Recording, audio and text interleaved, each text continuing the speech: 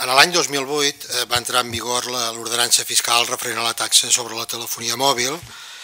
Des de la implantació d'aquesta taxa fins avui, les diferents operadores de telefonia mòbil han anat impugnant les successives ordenances fiscals i eh, es varen produir eh, sentències favorables en el Tribunal Superior de Justícia de Catalunya i també en el Tribunal Suprem. Posteriorment, eh, favorables als interessos de l'Ajuntament.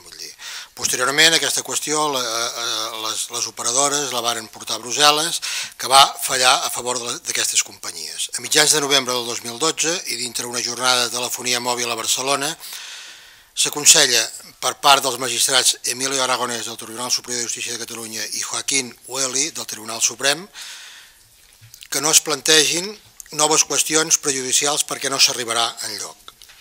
La realitat és que es van perdent en aquest moment tots els judicis i les sentències incorporen les costes.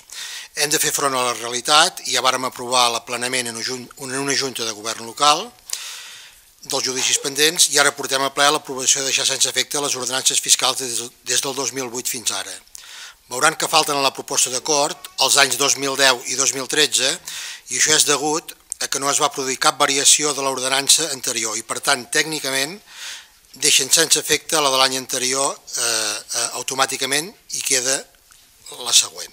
Significar que l'import d'aquesta taxa era voltant de 134.000 euros anuals i la, i la previsió que donarem de baixa és per un total de 572.192 euros, tots ells provisionats i per tant sense efecte en el pressupost. Recordaran que ja no varen pressupostar aquesta, aquesta taxa eh, per a l'any eh, o per al pressupost de l'any 2013. Per tant, el que portem a aprovació del ple és el deixar sense efecte l'ordenança fiscal dels anys 2008, 2009, 2010 i 2012.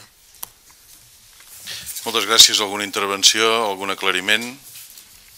Bé, doncs ho donaríem per aprovat. Senyor Josep Gelis torna a tenir la paraula i li agraïm.